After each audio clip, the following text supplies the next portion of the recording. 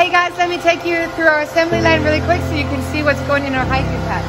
Over here we have some women's uh, sanitary napkins. Here we have some shampoos and some lotion everybody's uh, skin has been really dry from all the dust. Here we have some wet wipes for babies and to replace the shower. It's available usually. We have some dish soap that can also help clean some clothes, clean hands, all these things. Got two, two toothbrushes in each kit. We got some toothpaste.